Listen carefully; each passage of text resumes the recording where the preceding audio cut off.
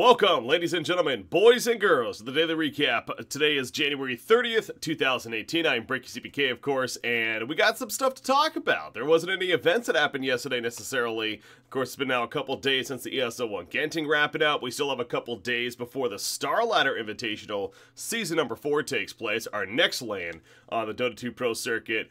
But in between here, we do still have some worthy news, including some pretty big roster announcements coming out. So we'll kick it off with arguably the biggest one, I think is safe to say.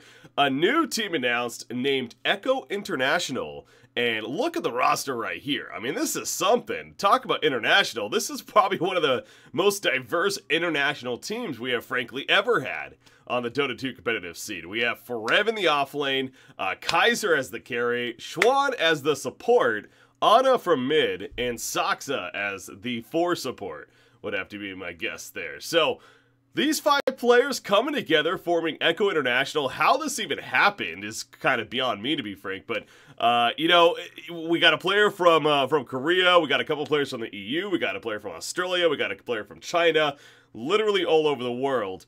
And the, the, the biggest concern off the bat is, you know, communication. Obviously, you assume they're going to all try their best to be able to communicate in English. I believe ChuaN is able to do so. I, I, I, believe I've heard about that in the past. So it, it, shouldn't necessarily be that big of a deal, but you know, people are making fun of the the, the situation there.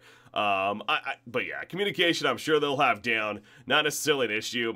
Um, I will say on this team, you know, when, when it comes to star power, clearly they have it, but we are talking about a player in ChuaN who has been out of the competitive scene for a little bit. Ana has had a rocky season so far. He has made some appearances here and there, but of course, uh, hasn't really been able to find a stable roster. Hopefully, this is that.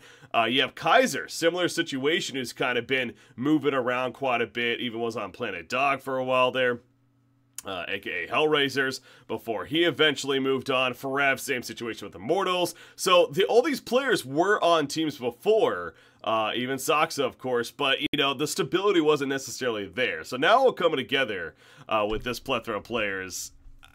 It, it really is going to be interesting. Apparently, they're going to be playing in Southeast Asia, actually, which I, I, find just the most hilarious of it all. You know, you're dealing with two uh, EU, a Chinese player, uh, Australia, I guess, which technically uh, could play in that region anyways. And then, of course, Forev uh, from Korea. So it, they they probably had their choice of where they wanted to play, and uh, from my understanding, they are going to be playing in Southeast Asia, from what I'm hearing at least. So, uh, Echo International, how they're going to be able to perform is going to be very interesting. Again, events starting here with qualifiers. I know the Dota 2 or the uh, the Dota Asian Championships, Dota 2 Asian Championships, the qualifiers for that do start here shortly, and several others. I'm sure they're going to be looking to participate, and we'll get a good eye in terms of how they're looking right off the bat. But, you know, definitely a team with potential in Southeast Asia, especially. I wouldn't be surprised if they start making a splash sooner than later. Sticking with Southeast Asia, actually, another announcement coming out. Of course, TNC, we already knew 1437.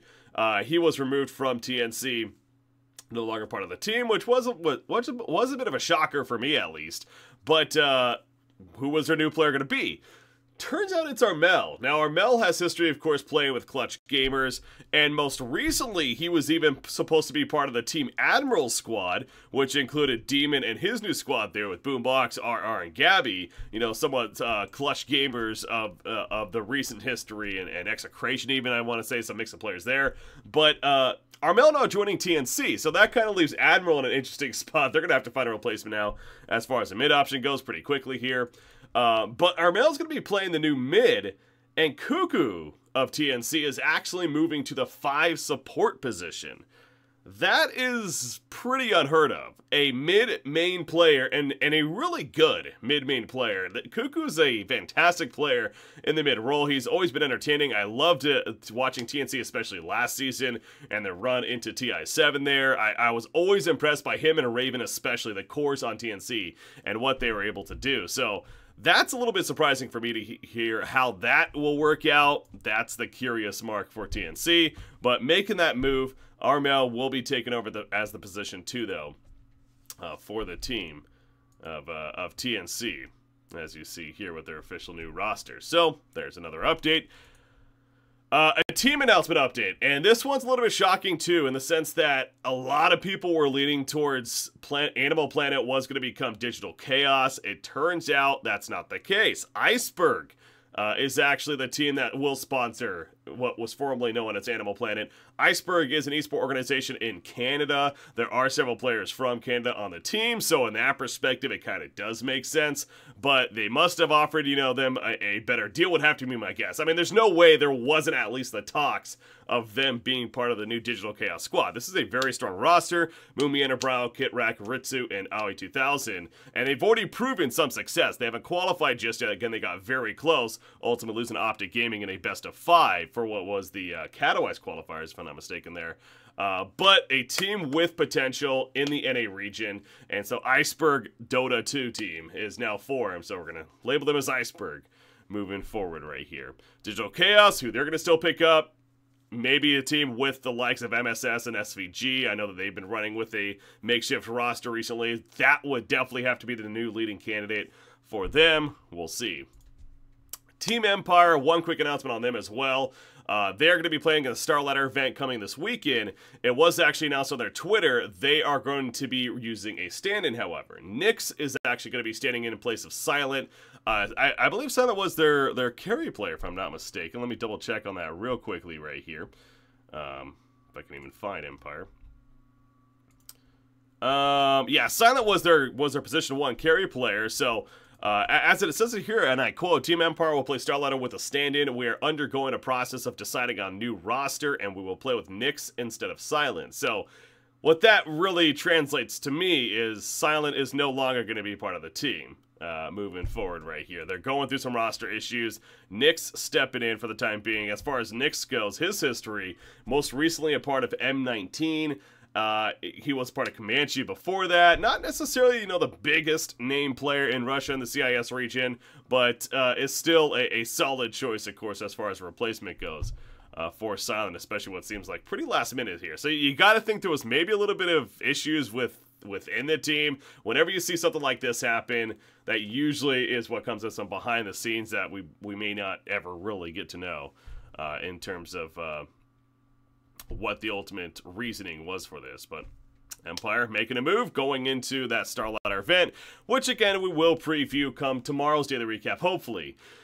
Uh, I say hopefully because once again, guys, literally in about my flight leaves in about three hours from now uh, here, and I'm going to be flying out to Kiev once again. I'm flying out to Kiev. I'm actually going to be doing coverage for what is the WESG North American main event, and it turns out I actually just found out. I wasn't even aware of this we're actually also going to be doing coverage for the South American region as well. So uh, I say, I say we. I'm going to be flying out to the Starladder Studios in Kiev. That's the whole point why I'm going there. It is a little funny how I'm going to Ukraine to cast a, a North American event, right? But uh, that's just how the the whole broadcasting's working, and they want to have the studio coverage. So.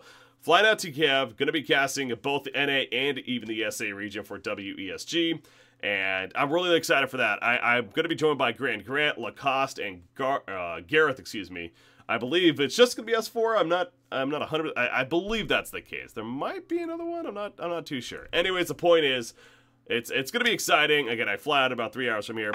Uh, so, with that in mind, obviously I'll do my best to get a daily recap up still um, depending on the internet at my hotel. From what I'm researching, it seems like it should be fine, so I should be able to do it from there as far as the live stream. If I can't do a live stream, then of course, worst case, I just record it and I'll get it uploaded as soon as I can. But my plan is, I definitely still plan to do daily recaps. Um, for these uh for while I'm out there now obviously the days that I'm going to be casting again I can't guarantee it's it's going to be some busy days it looks like uh, as far as it's pretty full schedules. I, I, just got the format and the schedule as well. Uh, they're going to be best of ones all throughout, and it's just back game after game after game after game. And so obviously we're going to be rotating, I'm sure, as casting goes. So maybe when I'm not casting, of course, I can uh, go ahead and do a daily recap. But uh, that's the plan. So no 100% guarantees, but I am going to do my best to make sure to still continue daily recap all the way uh, while I'm out there in Kiev, and then I'll return on the 6th, actually, uh, what is next Tuesday. So I'm, I'm going to be gone pretty much for a full week here. and uh, I am excited. You know, it's it's it's it's obviously a great opportunity. I'm, excited to check out the Starladder Studio. Never been there before. Never been to Ukraine. I've heard it's a beautiful place as far as Kiev goes.